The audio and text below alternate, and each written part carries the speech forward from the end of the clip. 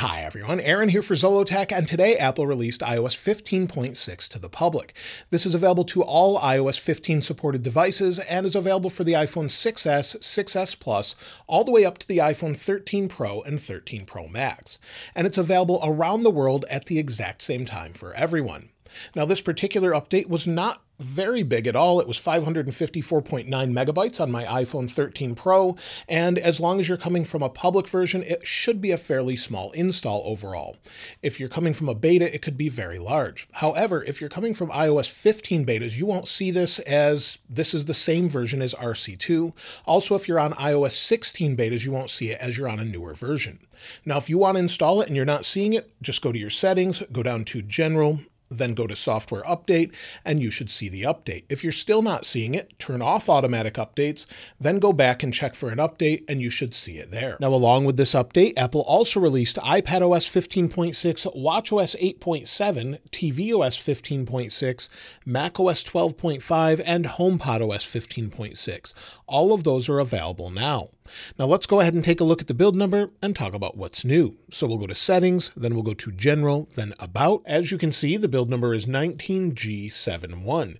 And this particular update, like I said, is the same thing that we had with RC2 or the release candidate 2.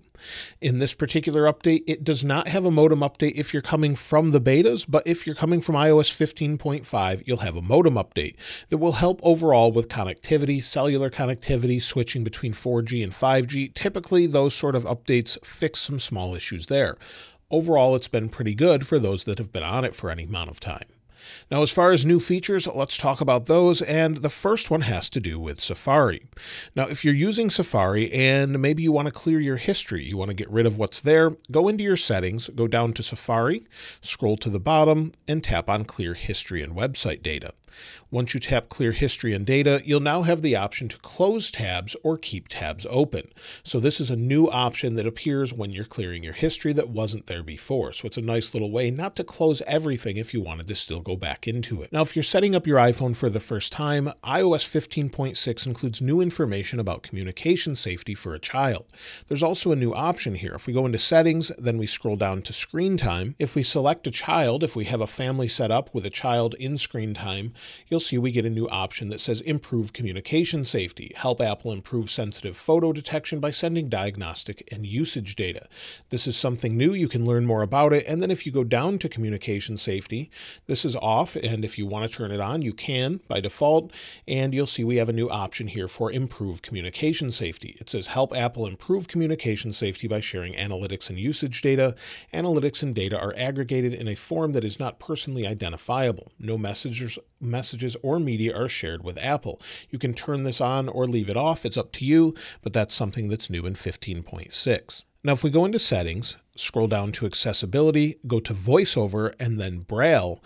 If you're someone that uses a Braille device, there should be some new options there for panning keys, thumb keys, C2, C3 options, and more. This is only available if you have a Braille input device, and unfortunately, I don't have one connected so I can show you this, but if you do use one, you should see those options available now. Also, if we go into the Home app, under the Home app, if someone tries to invite you or share a home with you and you don't recognize them, you can now report that invite as junk. You can ignore it or cancel it, where you couldn't before. So that's something that's new in this update, although you would need an invite from someone you don't know in order to do that. Also, if someone is calling you internationally, it will show that and show it's available for handoff, and then also give you an option to report that as junk as well. So if someone's calling you you don't recognize, there's more junk options available for that. If we go into the TV app and we go down to sports, if there's a live sports game that's already in progress, with iOS 15.6, you'll be able to restart that live sports game, pause it, or rewind it or fast forward it, just like you could with a DVR. So this is something they've added that's really nice. And as they add more sports, possibly NFL games later on, soccer, and more, we should see those options become more and more useful since it'll be like having a DVR built right into Apple TV Plus. So it's great that they've added that now. Now, they've fixed some issues in this update as well. And if we go into settings, and then to accessibility, where I mentioned before there's some updates to Braille. They've also fixed an issue for Braille. So, Braille users that were having issues with maybe Braille input devices slowing down when maybe you're navigating text and mail, that has been resolved in this update. They've also fixed an issue with storage. So if we go into our iPhone storage, go to General, then we go down to iPhone storage. Storage was an issue for many where it would show the device was full even though it wasn't. This has been resolved in 15.6. So iPhone storage loads nice and fast. You'll see down here system data, and I've mentioned system data in the past many times. System data is more of a cache where it can kind of expand in size and contract as needed based on the overall usage of different apps. However, sometimes that would take up data. Now it will show that it's available. So here you'll see I'm only using 37.1 gigabytes. I have a bunch available. Even if I have a bunch available, it won't show that it's using more. So that's something they've fixed in this update. They've also fixed an issue in Safari where the tab may revert back to a previous page. So maybe you were on google.com, you went to apple.com, and it jumped back to google.com. That should be resolved in this update. They've also resolved an issue on the iPad mini 6th generation where it may not detect a charger or a USB C accessory. So that has been resolved. It will now charge properly. This is actually the iPad Air, but if you have an iPad mini where it wasn't charging, that should be resolved. I have an iPad mini and it wasn't a problem, but for some people it was, and you weren't able to charge your device. With this update, you will be able to. So that's something that they've resolved in this update. Hopefully, you can update to it You'll need more than a 50% charge to do that though. Let me know if you were having that problem in the comments below. Now additionally, Apple's fixed an issue that was mentioned some time ago where if you have a third-party music app in your dock and maybe you go to reinstall the Apple Music app, it would actually replace what's in the dock and rearrange the order. That's been resolved in 15.6. So if we go into the App Store and re-download Apple Music, we'll just tap on download here, give it a moment, You'll see it's starting to download. It's not replacing the app and should be installed if we go to our app library, and there it is. So it's not replacing anything when you install it again. That's something they've resolved in this update, but they didn't mention publicly. There's also additional code changes as far as Apple Pay Cash goes. Thanks to my friend Steve Moser for pointing some of this out before. But within the Wallet app, there's some code changes as far as Apple Pay Cash, as far as wording changes. Not anything major there.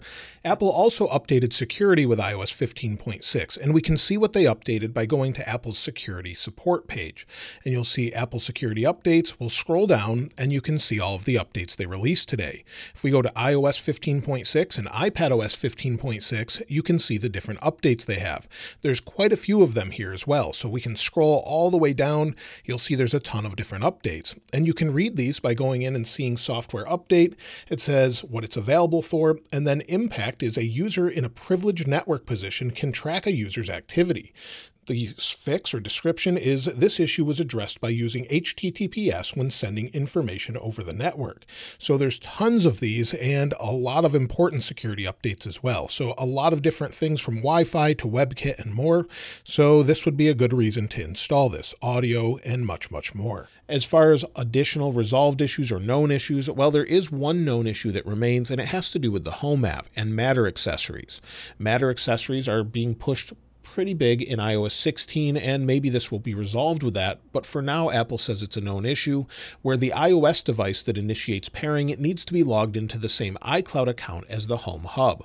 Only the owner of a home, not an invited user, can pair Matter accessories. So that's something that's still a known bug in this update. Now, as far as the phone getting too hot or overheating, it's staying nice and cool. And in the summer where it's hotter around the world, it seems to be staying cooler. Of course, if you have it in a case that keeps it hotter, that could be a problem. So you may want to remove that if it's quite hot. But in general, 15.6 seems to keep the phone nice and cool. If you're playing a game, of course, that's going to be more intensive and it will get a little bit warm or it will get warm when charging, but there are sensors inside the iPhone to help keep that cool. So it definitely seems to be better as far as that goes, and many people have reported that as well with previous betas. As far as iOS 15 updates, I think we'll have one more with iOS 15.7 betas, possibly this week. Typically, Apple will release one more where we'll have something like iOS 13.7. We had 14.8.